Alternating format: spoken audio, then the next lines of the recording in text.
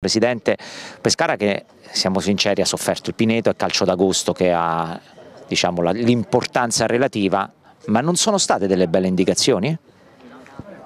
Se dobbiamo dare indicazioni nostre, no sicuramente, però abbiamo visto che c'erano due squadre, una molto più pronta, che correva di più e una molto più imballata, eh, perché noi non ancora finiamo col lavoro, sta, il mister sta facendo ancora due allenamenti al giorno, per cui c'è tempo, eh, poi avevamo mezza squadra fuori, per cui c'è tempo ancora per lavorare. Mm, non è preoccupato? Nel modo più assoluto. Però tra Reggio Emilia, o meglio tra Fiorenzuola e oggi Pescara non ha dimostrato quelle, diciamo, quel, quei concetti di calcio zemaniano almeno in fase offensiva, poi al di là delle condizioni atletiche.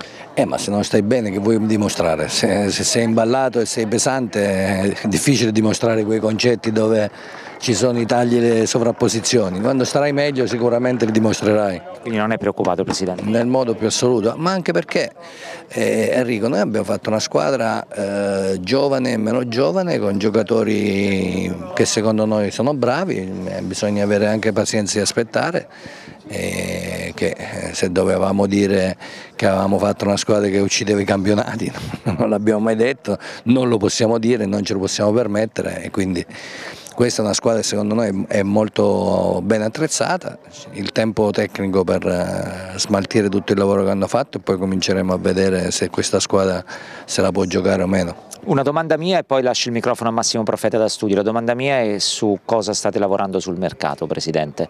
Nel senso, oggi Mora e Colai erano fuori, indicazioni di mercato problemi fisici, prima cosa, e poi se a centrocampo arriverà uno o due giocatori. No, noi quelli che erano fuori erano fuori quasi tutti per problemi fisici, perché Aloi non è ancora al 100%. Siamo Mora e Colai. Eh, Colai eh, è un mese che parliamo di Colai, sapete che se c'è la possibilità di il ragazzo vorrebbe andare a giocare, eh, a trovare più spazio andrà a giocare. Mora ho sempre detto per me non è un problema, ma se poi il giocatore decide che non sta bene qui si troverà una soluzione. Se dovesse uscire Mora sicuramente eh, eh, la pedina dove andiamo a lavorare sarà un centrocampista. Studio Massimo Profeta.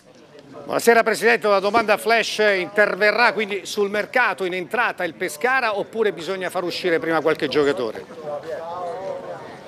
No, no, ho detto se dovesse uscire qualcuno noi interveniamo, se non dovesse uscire nessuno siamo 26, dove li metto? Me li porto a casa.